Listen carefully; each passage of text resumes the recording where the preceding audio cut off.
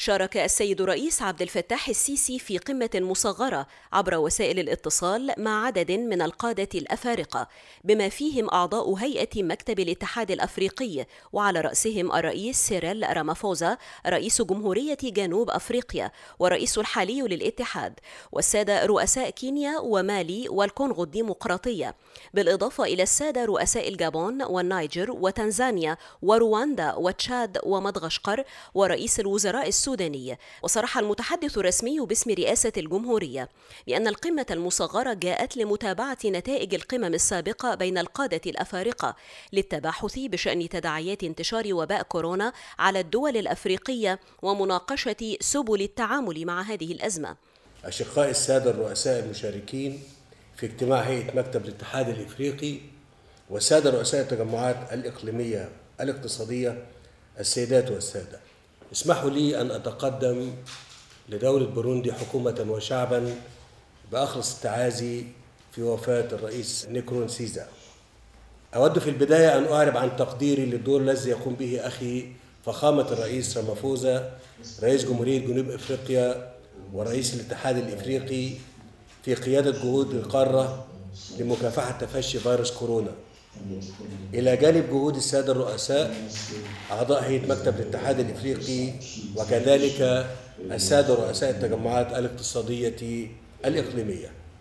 كما أود الإشادة بالدور الذي يقوم به معالي السيد موسى فقيه محمد رئيس مفوضية الاتحاد الإفريقي في هذا الصدد والجهد الذي تقوم به إدارات المفوضية والمركز الإفريقي لمكافحة الأمراض وكذلك أود الإشارة والإشادة بالمجهود الكبير الذي بذله السادة مبعوث الاتحاد الإفريقي المعنيون بحشد الموارد لمجابهة أزمة تفشي كورونا السيدات والسادة.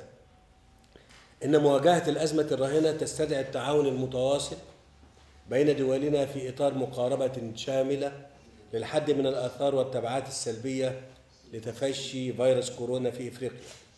وفي هذا الإطار أود الإشارة إلى نقاط محددة وذلك على النحو التالي. أولا أهمية مواصلة حث المؤسسات المالية الدولية وشركاء القارة على تقديم الدعم الاقتصادي للدول الإفريقية.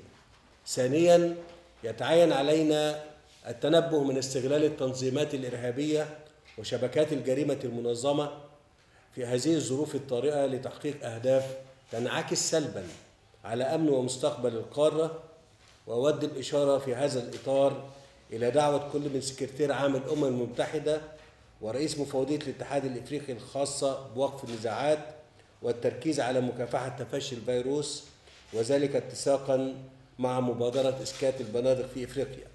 ثالثا إن اهتمامنا بمكافحة تفشي فيروس كورونا في إفريقيا.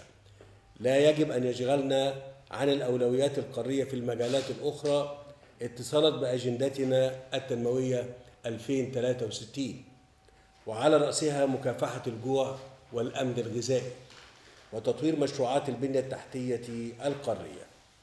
رابعا الحاجة إلى مواصلة العمل الإفريقي المشترك والبناء على النجاحات التي حققناها خلال الأشهر الماضية.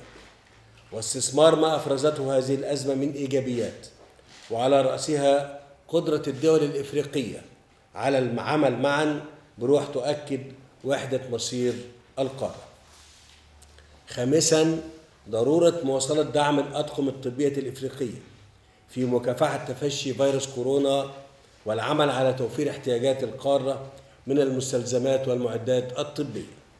وكذلك مواصلة دعم الدور المهم للمركز الإفريقي لمكافحة الأمراض.